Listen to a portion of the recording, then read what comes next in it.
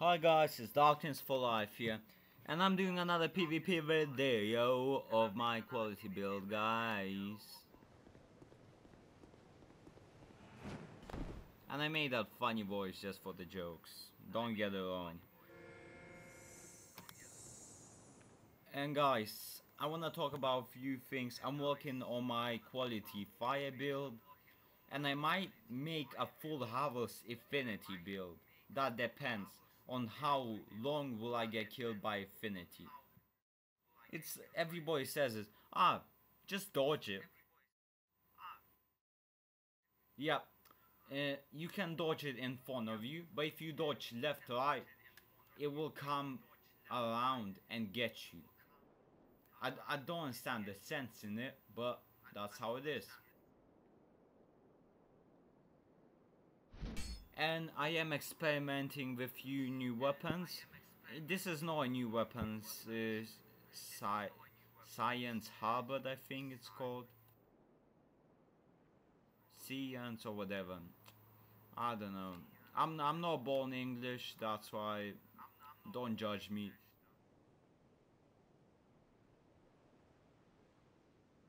But this weapon was nerfed, so I hope it's still good.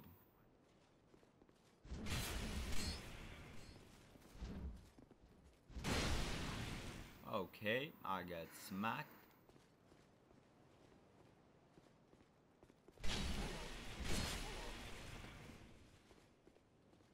Uh, I hope I win this.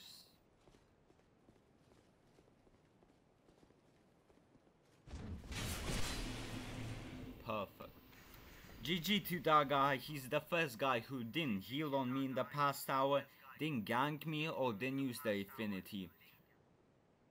Like, people who do not use that stuff should get literally prizes in this game. Literally, that that's how... Because if you heal, that's basically unfair. If you gank, that's unfair. If you use affinity, that's fair, but that's just your fucking nerd, your shit basically.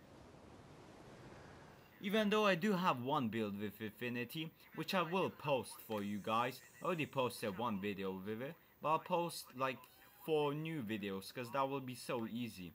I'll just pop Affinity, it will kill the guy for me. Basically, that's all. And guys, if you enjoy, smack the like button, subscribe, comment, share the video of the nice stuff, guys. I'm tired talking, I don't talk much.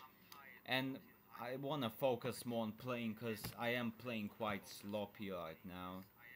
And enjoy the gameplay guys. Peace out.